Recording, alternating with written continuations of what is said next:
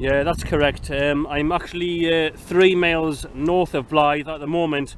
I'm located in a town called Newbiggin by the Sea. That's Newbiggin by the Sea, about three miles north of Blyth. Um, it's an FT857D running 100 watts from a quarter wave vertical, which is an MFJ 1979 uh, telescopic antenna there, John QSL. Yeah, I'm, yeah, that's right. Yep, it's a, doing a good job, mate. They've got old uh, MFJ quarter wave on, your back, I guess. Um, are, you very close to the ocean? Yeah, Roger, Roger, uh, right close to the water. I'm actually on the rocks at Newbiggin, right next to the sea. Uh, the sea's going out there now. I'm about uh, about 70 to 100 feet away from the water. But uh, when I first came out this morning, I was right up to the water's edge there, uh, John. And by the way, you're 5.9 plus. Uh, you're the strongest signal I've ever heard from New Zealand. so congratulations.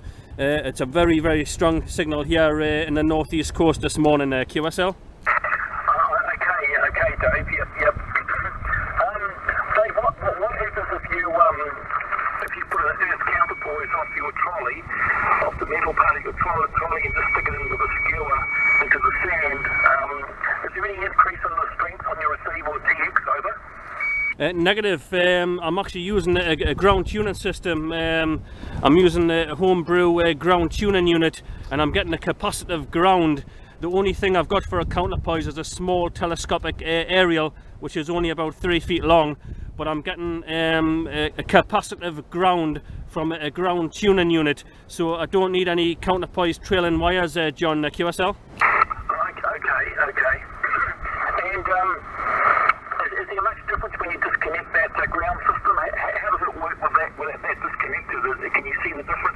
I can actually work without any telescopic aerial as a ground plane. I can just, um, you know, walk around with the uh, the backpack on my back. I have tried uh, operating uh, from a, a counterpoise and I've tried throwing a counterpoise into the water before. It, uh, all that happened was it decreased the noise level. The noise level went down to zero, but didn't notice uh, any any difference on uh, the transmit side of things, John. over. Okay, yeah, no, it'd be interesting to see if there's uh, any, any difference down here. And the, the, other, the other thing I'm is that um, would be um, would be a top load, um, a top load antenna uh, compared to the quarter wave, um, just as maybe a, a, a six or, or ten foot helical with, with the with the uh, top loaded, just to see if the uh, the current higher up the higher up the um, the antenna made any difference on um, on long on long, on long uh, skip on low angle long skip. Um, just to see if that was a bit of a fallacy or whether it's true. That would, that would be a great test if we could do that one day over. Um, but it's difficult to tell when you kind of do an A-B comparison. Uh, sometimes I just used the quarter wave vertical and sometimes I used the shorter quarter wave vertical with the capacity hat on the top. Um, so it's very difficult to make a comparison but um, I'm very surprised this morning I was just about to give up and go home there um, I noticed they had a pile up and uh, I didn't think there would be much chance of getting in there but I'm operating from the same location as on my QRZ uh, homepage and from the same backpack there so you'll be able to, to see all the details on there there John uh, ZL2 JBR M0 DAD okay, okay, okay. you're letting out a day, that, that means you're, you're lugging around a fairly heavy battery. So, um, what was that, a 10 or 15 kilogram, kilogram battery over? Yeah, we're operating from a 22 uh, amp hour lead acid battery, which is on the base of the backpack. But of course, uh, you're only uh, drawing, you know, um, 20 amps on, on the peaks. So it's, uh, I've never flattened it yet, so I'm, I'm quite pleased with the battery there, John QSL. Okay, okay, yeah, interesting, interesting, uh, Dave. Um, I just wondered can, can you reduce the power? Can you reduce the power to about uh, 25 watts? Just take the power down by 75%. Would that, would that be okay? I'll just measure it here just to see if I can see if there's any propagation loss and, and what there is. If it's sort of, um, if, if I could just, uh, just wouldn't mind if you just do that just for a second over. Yeah, QSL, John. Uh, this is 25 watts. 25 watts. Uh, ZL2 JBR M0 DAD pedestrian mobile. Uh, any difference there, uh, John? No, no, not much difference, no. no. Um, sometimes this is a situation where you've got um, a very, very good efficiency with the water.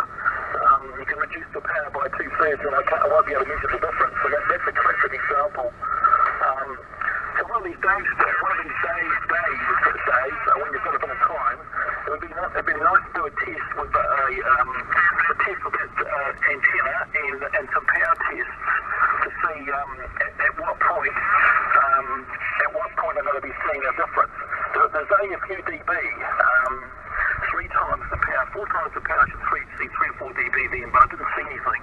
Um, so you probably have to go down to about, um, oh, I don't know, uh, may- maybe 12 watts, uh, 4 to 48, um, about 18 watts. Uh, but it doesn't matter, Dave, it's still, um, um, well, it's, it's good to know that if you're working a long distance, um, you can safely uh, whack the power back a, a fair bit, especially when you, if if your current's getting a bit weak. You can't, you can't drag the voltage out, you know. Um, you know there's going to be not a lot of difference, actually. Uh, so that's, that's good. It just, just means that your uh, antenna efficiencies are very, very high there, and you, you haven't got much propagation loss because the band's good, and your, and your takeoff's low, and there's a whole lot of good pluses there, which is excellent. Um, I'm running about uh, 400, 430, 450 uh, PEP according to my vector. 121212.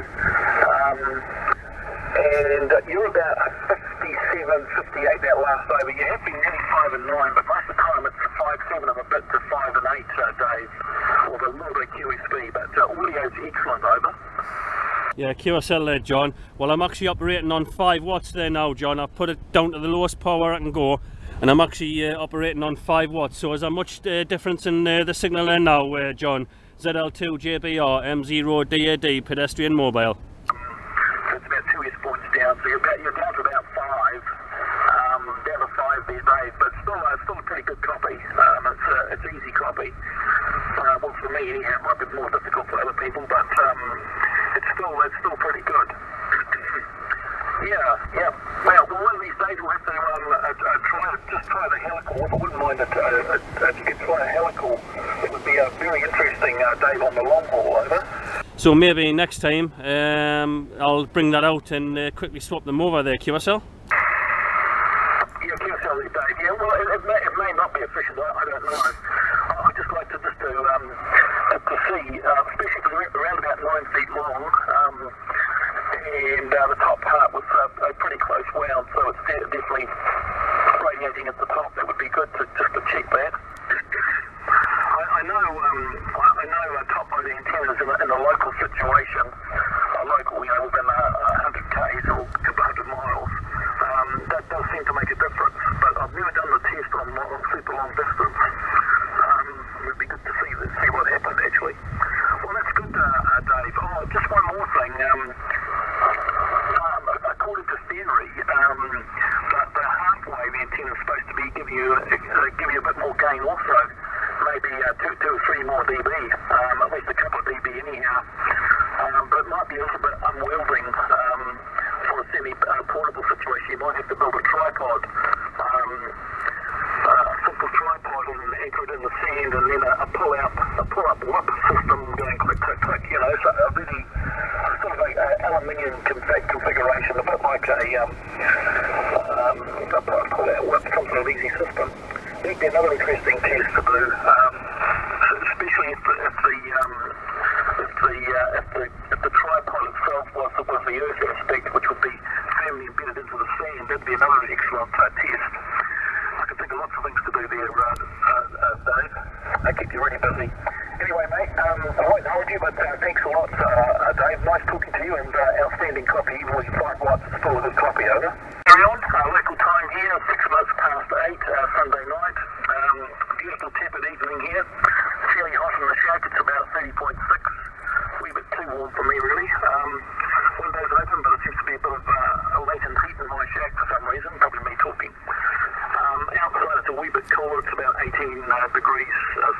28 degrees Celsius here, and uh, just a little bit of wind blowing from the northwest uh, our day, which is typical for this time of year. It's uh, it's been very, very dry, extremely dry. Not much water's um, uh, come out of the sky for my uh, rain. rain. And, uh, I really enjoy the contact, uh, and I look forward to uh, looking at that, that, that, that, that clip on YouTube. That'd be great.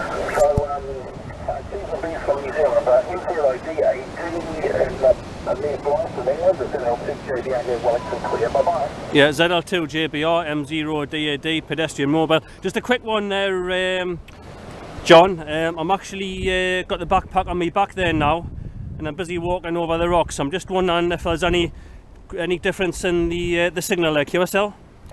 Uh, there is. I, I, I can just detect a bit of uh, wobble. Um, I think it's probably the fact that you're walking and, um, and nothing to do with transmission, but just uh, the fact that there's a bit of movement now in what you're doing, over. Yeah, QSL. Just walking over the rocks and um, just wondering if there was any difference because the backpack was sitting on the on the wall before next to the sea wall, and uh, now I'm uh, actually walking over the rocks there. So thanks for the checks and. Uh, hopefully may catch you on tomorrow morning uh, if you're on tomorrow morning there, John. QSL? Yeah, yeah, No worries at all. Yep, yeah, good. Yeah, excellent. Uh, seven, just a, fraction, then just uh, seven plus a needle, a needle width over on that, on that walking mobile, walking pedestrian mobile so, uh, uh, cheers and beers from New Zealand, buddy, and uh, take, take it easy, don't cut your head on being that uh, sharp there. So, uh, see you later on, bye bye. Yeah, 73 John, M0 DAD, pedestrian mobile, 73. Uh, cheers and beers, buddy, thanks so very much, cheers. Uh, VK4 Mike Oscar November, M-O-N, is that right?